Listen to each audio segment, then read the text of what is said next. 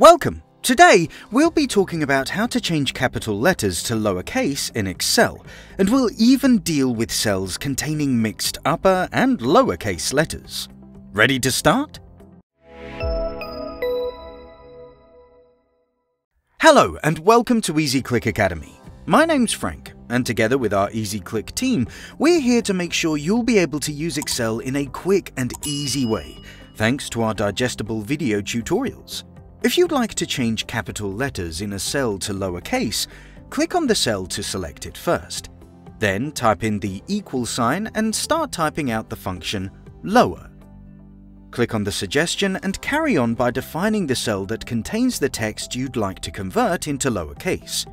Here it is the text in the cell B3, so we'll click on B3, close the brackets, press enter, and here we go, all lowercase now.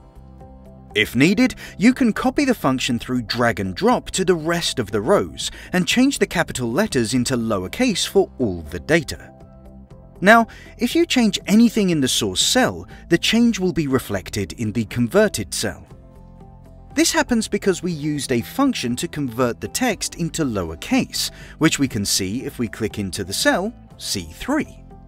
But what if we need to store only the values? The converted texts themselves, and we don't want to keep the function in the data table. Well, that's easy to do. Let's select the converted data and use the Control key and C to copy the contents of the cells. Now we use Paste here at the top to simply paste them in the same place, but we need to go for the option Values.